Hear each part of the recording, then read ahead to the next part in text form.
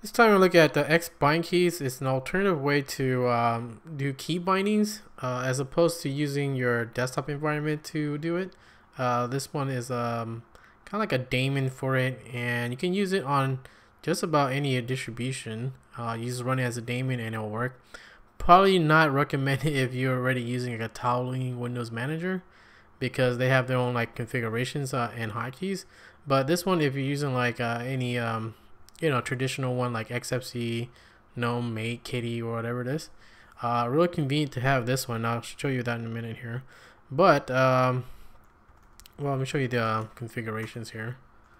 Right, in here, it's just a, a config file. Uh, you just call it uh, in your home folder here, uh, .xbindkeys rc. And in here, all you got to do is uh, give it, you know, the command that you want to run uh, and then the hotkeys you want to do. Now this one's a little bit different too because it actually has mouse button binding also. Um, usually when using like XFCE or something like that, they only have it for hotkeys. They don't have it for mouse binding. Unfortunately, I don't have any mouse bindings to um, show you, but they do have some examples in here. Where the hell was that? Um, uh, there you go, right here like this one right here you know if you want to bind it uh, with uh, control mouse button 2 and you do a release or something like that and then it'll execute the event or something like that right?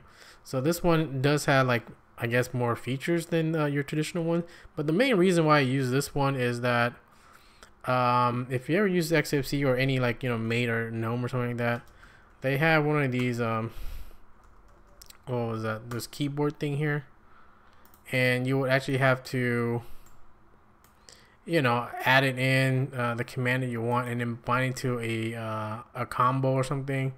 And it's so slow to do it this way where you have to click on this stupid thing every time click OK uh, so on and so forth as opposed to just using um, you know a, a, text file here and then you can edit it. Uh, again I got this idea from uh, using i3 they have like a, conf a configuration file for their hotkeys and their auto startup. Uh, I talked about the auto startup uh, on another video, but this one's just for hotkeys, right? And you can bind it real easy, just the commands that you want to use and you know the hotkeys that you want to use, uh, real easy. So let's say for example, what's this one here? Mod 4 is my super key, aka um, your Windows key. So if I press this one, let me see here. Uh, Super Alt and S. Okay, this one's for searching. So this one will open um, Ranger and it'll execute that command um, FZF select. And let's say if I'm looking for um, my Xbox soft modded stuff. Look at that, it goes to that folder and I can open it or I can quit out of this. Simple. So that's how I would search for stuff. If I want to open my home folder with my default uh, GUI file manager, I can do, uh, what is it here? Uh, super Alt and F. So super Alt and F. And it opens, you know, that thing. So on and so forth. I mean, what else we have in here? We have uh, H-top KDE style. So use uh, Control Escape. Here's just some examples. Or you can do like a Windows style Control Alt Delete, right? We'll do that. And it opens uh, H-top. So whatever way you want and there's some few other ones I have down here for Windows management and so on and so forth. But uh, the basic thing about this is that um, you know you have it in one file. So even if you like um, in the future maybe you reinstall your distribution or something like that you don't have to waste time going to um, what the hell was that thing? Going to this thing and adding the fucking thing again. Uh, imagine you have to add like all, all these hotkeys in here again. Look at this thing. Imagine you have to do it in here. It's so fucking slow and, you know, just not convenient.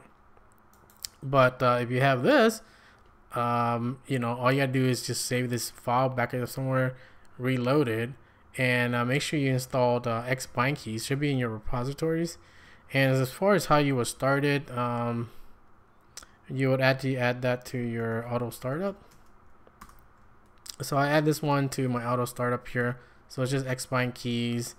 And if you're doing this uh, the way that I showed you in the last video, uh, that's all you gotta do. You add this and then you have the and sign to break um, from the terminal.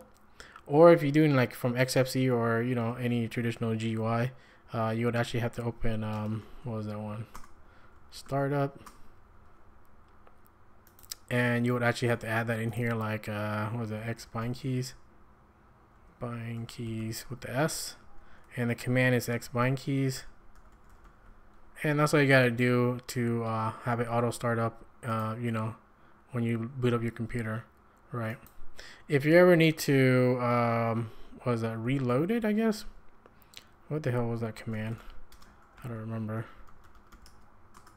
Yeah, you have to kill it first, right? We do kill all if you want to reload it. Kill all existing one, and then you can load it up again using this command. Pretty much that's it, and that's how you'll reload uh, X bind keys if you ever need to do that. Um, so I've been using this and it's really convenient and you can use it on, you know, any other uh, distribution desktop environments, uh, mainly for like XFC, KDE, GNOME, uh, LXD, so on and so forth, because um, it's convenient and, you know, if you're using like the GUI, there's really no way to back it up. But with this way, you just have one file and uh, you're good to go if you ever need to like reload your distribution. And plus, if you're doing this with like uh, your favorite text editor, it's much quicker than clicking, you know, OK, bind a fucking hotkey. And imagine you had to like uh, edit uh, each and every one of them again. It's so slow, right? Anyways, that's what I've been using. It's just called X bind keys. Should be in your repositories. Just make sure you add it to your auto startup. Um, you know, if you want it to uh, load it every time. That'd be it for this one.